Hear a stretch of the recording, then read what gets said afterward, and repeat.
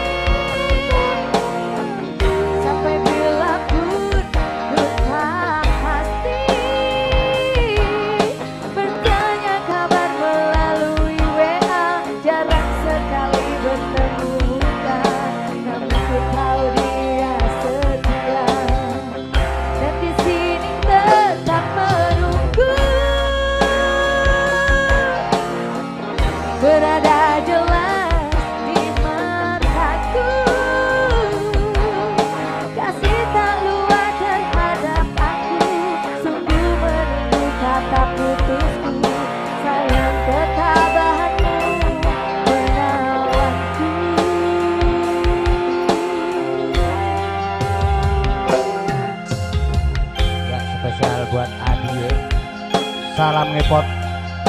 Lina.